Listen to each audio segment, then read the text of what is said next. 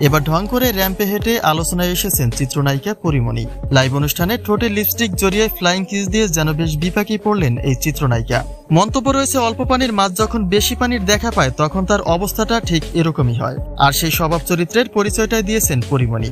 তাই তার বিস্তারিত জানতে অবশ্যই ভিডিওটি না টেনে আপনার মূল্যবান মতামতটি জানিয়ে দিন। পর্দার বাইরে ব্যক্তিগত জীবন নিয়ে দীর্ঘদিন ধরে আলোচনায় রয়েছেন চিত্রনায়িকা পরিমণি। বিশেষ করে শরীফুল রাজের সঙ্গে সম্পর্ক বিচ্ছেদের পরে শবনম বুবলির সঙ্গে একটা দ্বন্দ্ব বিবাদে জড়িয়েছেন পরি।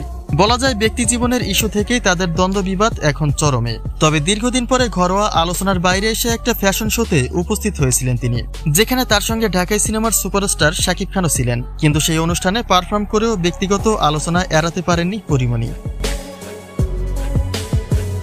সবার থেকে একটু ভিন্ন স্টাইলে র্যাম্পে হাঁটেন ঢাকাই সিনেমার এই আলোচিত নায়িকা। বর্তমানে পর্দা থেকে কিছুটা সরে আসলো একটা সময় টক অব দ্য হিরোইনের তালিকায় ছিলেন তিনি। আর সেই নায়িকাই আজ ব্যক্তিগত জীবনের ঝামেলায় জড়িয়ে ক্যারিয়ারটাকে প্রায় অনেকটা গুছিয়ে নিয়েছেন বলা যায়। কিন্তু উপস্থিত অনুষ্ঠানে তার ফ্যাশনটা হয়ে উঠেছে সমালোচনার কারণ। কেননা তার রং ঢং আর ফ্লাইং কিসটাই ছিল আলোচনার মূল কারণ। পরীর এই র্যাম্পে হাঁটা নিয়ে কিছুটা আপত্তিকর মন্তব্য দেখা যায়। কেননা একমাত্র তাকেই দেখা গেছে লিপস্টিক বের করে ঠোঁটে জড়িয়ে ভক্তদের ফ্লাইং কিস দিতে, যেটা তাকে এই মুহূর্তে একটা হাসির পাত্র বানিয়েছে। কিন্তু মূল বিষয়টি ছিল একটু ভিন্ন রকম।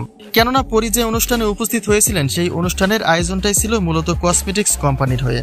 যে কারণে তার প্রেজেন্টেশন ঠিক এমনটাই ছিল। তবে এই বিষয়ে আপনার কোনো মন্তব্য থাকলে তা কিন্তু নিশ্চয়ই কমেন্ট করতে ভুলবেন না।